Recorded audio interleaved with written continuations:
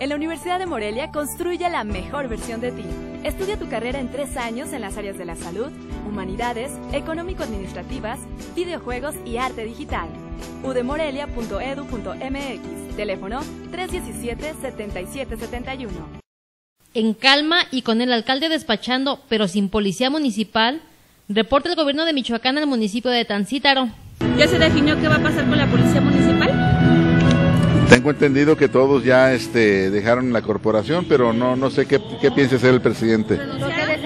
No te sé decir, sé que ya no están ahí en funciones.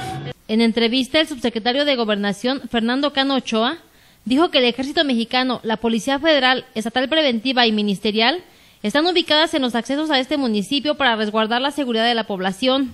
Hay una fuerza coordinada del Ejército, Policía Federal y policías estatales. Hasta ayer, hasta ayer estaban en los accesos y el presidente fue el que entró a despachar ayer, no te sé decir más hoy. Sobre la versión de que durante el martes se registraron varios enfrentamientos entre grupos armados en Tancítaro, el funcionario estatal confirmó solo un evento con un saldo de una persona fallecida. Ayer se tengo entendido que solamente hubo un, enfrentamiento en la comunidad de Combándaro, creo que se llama. ¿Qué saldo hubo ahí?